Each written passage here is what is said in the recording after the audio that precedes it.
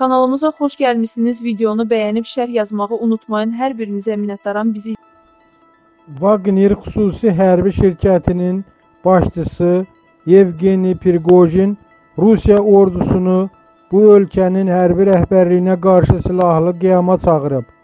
Oxu24.com xəbər verir ki, məlumatı Rusiya kütləvi informasiya vasitələri yayıb.